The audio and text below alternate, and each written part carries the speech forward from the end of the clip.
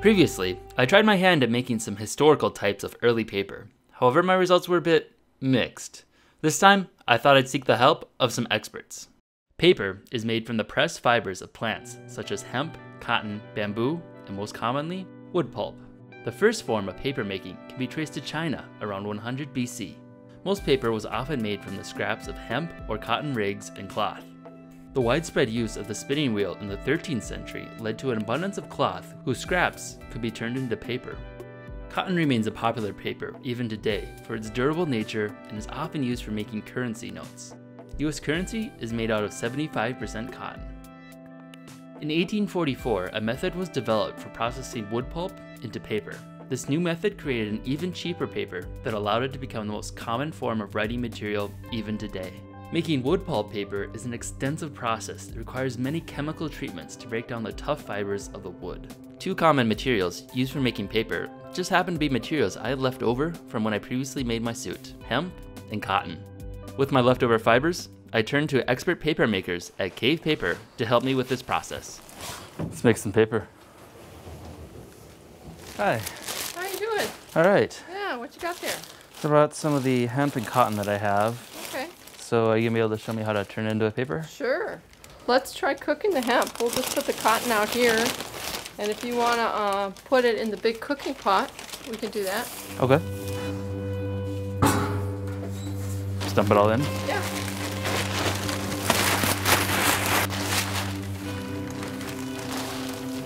And uh, we'll just push it down. We'll fill it about here and we'll get it cooking for you. All right.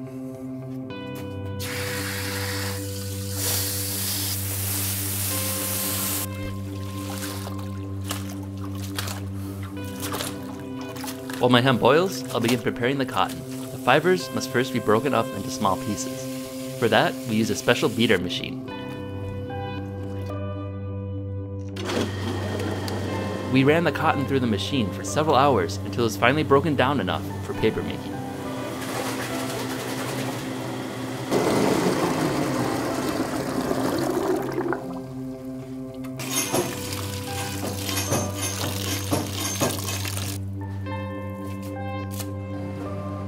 Once chopped into small short fibers, they are added to a tub of water and thoroughly mixed. Next, the mold is pulled through.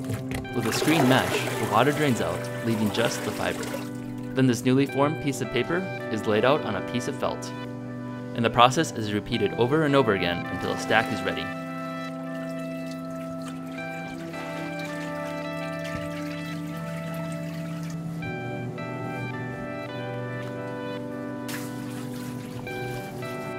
The stack is then placed under a press, where 5,000 pounds of pressure is applied to it.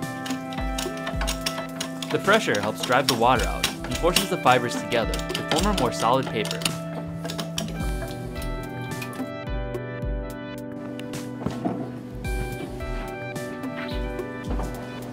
How many sheets should I get out of this?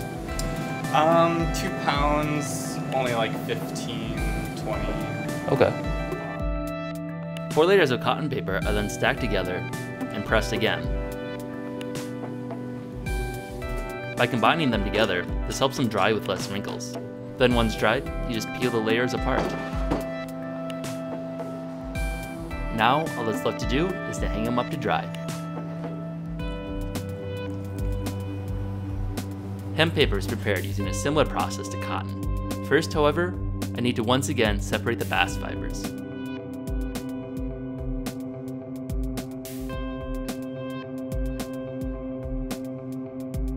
After hours of peeling hemp stalks, it is added to the beater machine. Screened through a mold, transferred onto the felts, and once again, put into the press.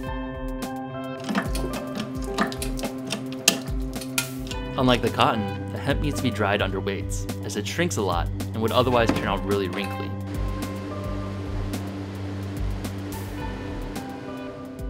After laying all my papers dry over the weekend at Cave Paper, and I have the completed, completed paper. So the first one is cotton. I think it turned out pretty nice. It's got a nice texture, and uh, it was fairly easy to do. Whereas the hemp here, was very reminiscent of when I made my suit, where the, the hemp was a lot more involved and took probably five, three to five times as long, both in the suit and making the paper. So I think that both of these will work pretty well with my book. Next up, I'll need to make some writing utensils.